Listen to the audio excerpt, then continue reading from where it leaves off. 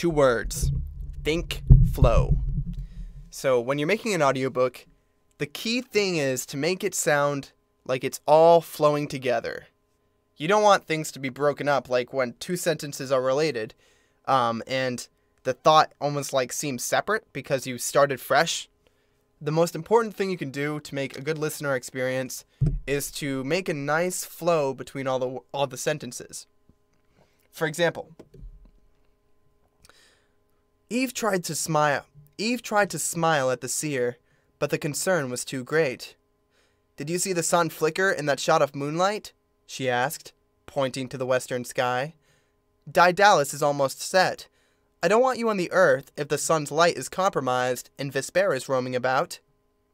Ah, uh, I could take the North Star, one hand tied behind my back.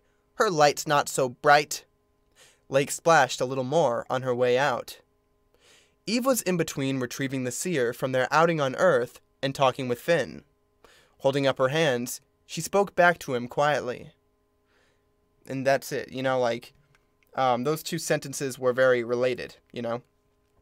Eve was, you could say it like, some people don't even connect the sentences, and it sounds like this Eve was in between retrieving the seer from their outing on Earth and talking with Finn. Like, as if they're, they're, the, the two conjunctions are separate. You want to say, Eve was in between retrieving the seer from their outing on Earth and talking with Finn, because the two, uh, the, the beginning of the sentence and the ending sentence connect. Holding up her hands, she spoke back to him quietly, instead of holding back her hand, holding up her hands.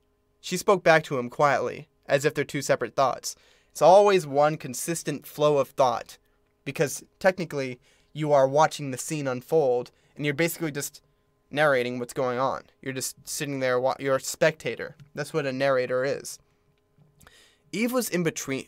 Eve was in between retrieving the seer from their outing on Earth and talking with Finn. I hope that helps. Thanks, guys. I'm Jason Lovett. I'll catch you later. Bye, guys.